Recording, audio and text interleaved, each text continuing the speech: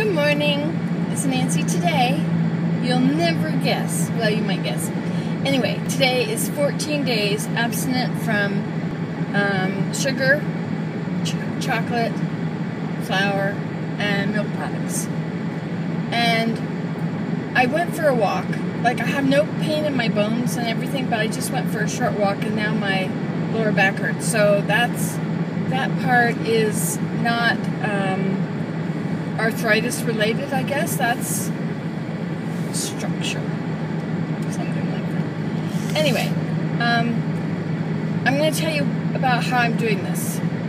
Um, it's a 12 step program of Overeaters Anonymous. I'm using a book called He Did Deliver Me from Bondage. And I've certainly been in bondage to sugar. totally. Anyway, so um, step one is honesty. You know, realizing that I am actually addicted to sugar. Step two is, um, well, look at all those turkeys in that yard. Uh, sorry, step two, um, is it truth? No, humility. Oh, I don't know what it is. Anyway, leaning on my Savior. Leaning on leaning on Him. I can do all things through God who strengthens me. And I just can't say it enough. But if an alcoholic can actually kick alcohol, and if a drug addict can actually kick drugs with this 12 step program, then surely I can kick sugar. If you go to LDS.org, there's a 12 step this 12 step program is one of the things. That's our church. Anyway, so today I had a wonderful thing happen. I put on a shirt, which I would never wear because it's kind of a thicker shirt and it always would stick to my midriff. And I don't like clothes that stick to me. Uh, I do wear it because it would always stick to my midriff. But I tried it on, and my goodness, there was a few inches between my stomach and the cloth, the shirt. Unbelievable. I could wear it, and it wouldn't bother my, wouldn't wouldn't get caught up on my skirt as I turn or anything like that. Isn't that amazing? So, the first thing I did is in this whole program is to first believe that if they can do it, I can. If they can do it with the help of the Lord and with this program, then why not me? That was step. Oh, quite a lot of ice there. It's really cold out today. It's negative eight Celsius, and it's April the third. Anyway, uh, um, gotta turn my heat down. I remember that when I went to OA meetings, which, you know, I would like take a big chunk of bread with me as I walked over there.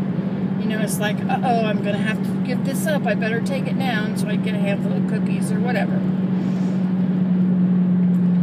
And in the people's testimonies, and they would stand up and talk, they would say that they had been abstinent the abstinence was not so much from overeating as from certain items that make you want to overeat. Certain items that are comfort foods that you turn to in crisis. And a crisis can happen at any time throughout the day. All day long, you can have different crises. They don't have to be huge crises that anybody else would care about, but just yourself. So,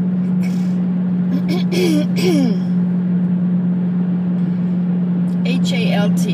Hungry, angry, lonely, and tired. Those are triggers for overeating or for for eating comfort food. So I gave up. I knew that they those people had given up sugar and flour. And those were the ones that were having all this success. I mean, they were just thin people. They were regular sized people who came to the program which was unbelievable to me that these people had actually been big. You know, the thing nowadays is to give up, is to, um, oh, the lake is, oh, look at this. I'm sorry, I'm here at the lake. Um, gonna watch the, look for ducks. Anyway, the thing about, wow, the colors are gorgeous. I was amazed that these people that were skinny had once been big. And that they actually had to make sure that they didn't turn to food, that they were still working the program.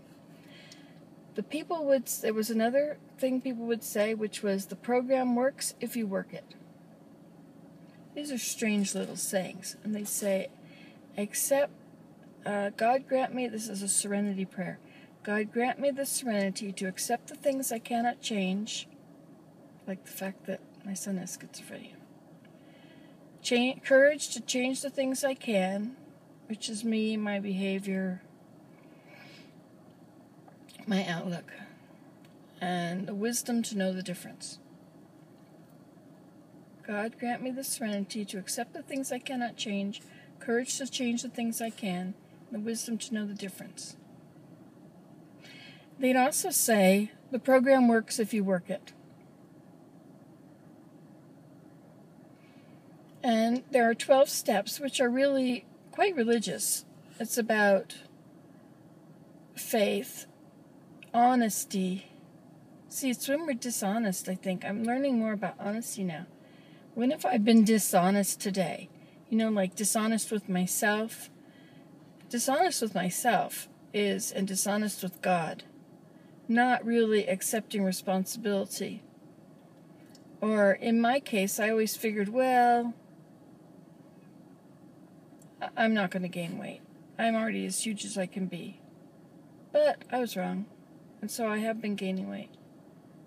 I was up to 235 pounds. And now I'm down to 221 or something. So after I stopped with these foods, the pain went away, but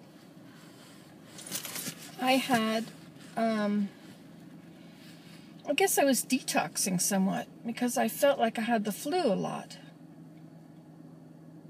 I felt, I just, I didn't have the flu because I didn't ache all over, I didn't have a fever. I didn't have a cold because I well, I wasn't blowing my nose constantly and sneezing. Mm. And so I think it was just detoxing, which was making me feel so unwell. So I've been going around for two weeks thinking I'm sick. But I might not be sick at all.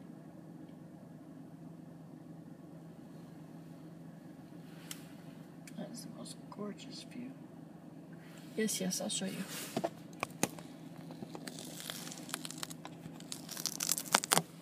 Turn it this way.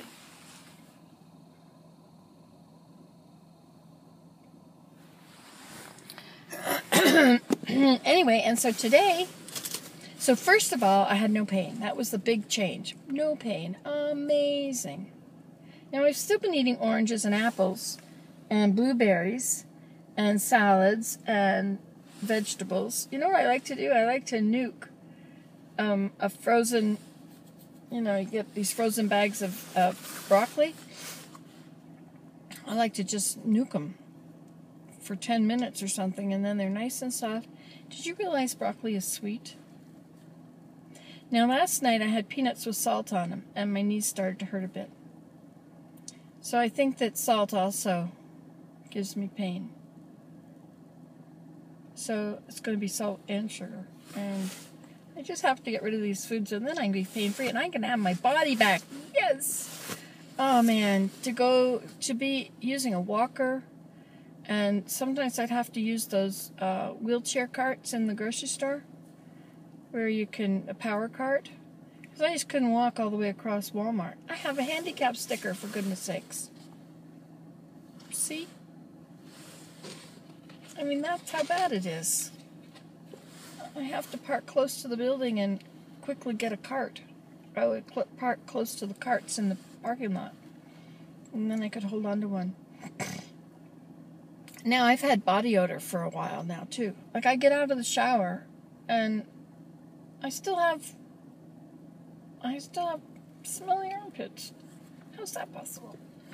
And I, you know, I scrub off. I get clean. So I think it's just this detoxing is what's happening. Anyway, but the biggest thing is that I could wear these clothes and they were loose on me. Unbelievable. After two weeks. Now, I think that the reason that in two weeks I've lost um, 21, I was 35, so 14 pounds. I think the reason that I've dropped so much so quickly is because I was just, my gut was so full. So I'm emptying out my gut. Unbelievable. Anyway, I recommend it if you can do it. It's you know like the world today. We turn toward med- toward toward um, toward surgery, but even after you get your stomach stapled or cut in half and half your intestines removed, it's not going to help you deal with your problems. It's not going to help you think about why you do this. And to be able to depend on the Lord, to be able to um, to have Him in your court and know that He'll help you. He loves you. As unlovable as you may think you are, He loves you. Loves you more than you can possibly imagine, which I can't imagine. Look at, see the smile? okay, that's my that's my day day 14 of abstinence. See ya. You can do this at home. Results may differ.